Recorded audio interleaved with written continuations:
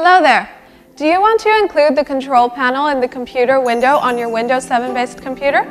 Here's how you do it. Click on the Start menu and then type regedit in the search box. When it shows up in the list, press Enter.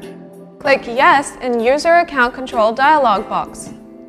Navigate to HKey Local Machine, Software, Microsoft, Windows, Current Version, Explorer, My Computer, and Namespace.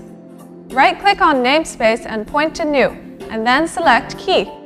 Name the new key, curly bracket open, 26EE0668-00A-44D7-9371 BEB064C98683 curly bracket close.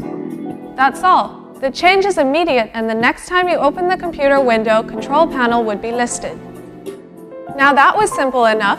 Keep watching for more such easy to follow tips. And if you face issues on your PC that you need help with, just call iYogi. Good karma.